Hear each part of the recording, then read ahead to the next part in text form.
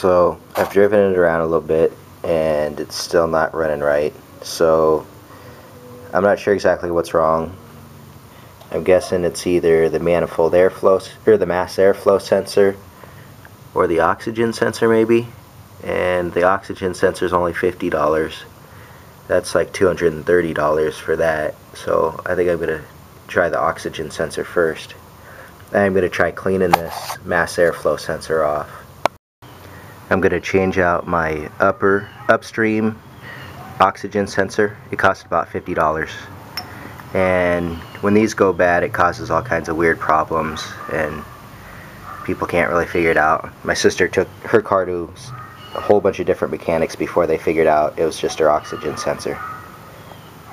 But um, I did buy a special socket for like $10. It should make it really easy.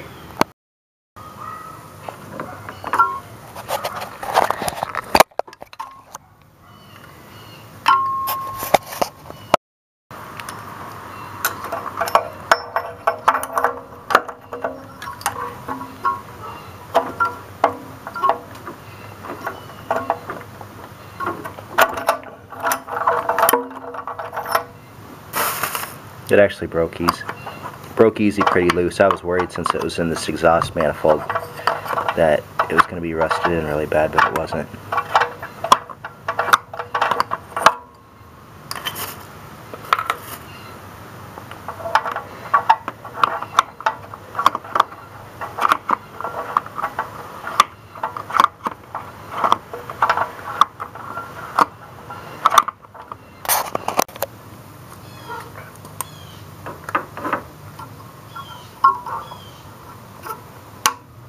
Now that was a really quick and easy job. That didn't take long at all.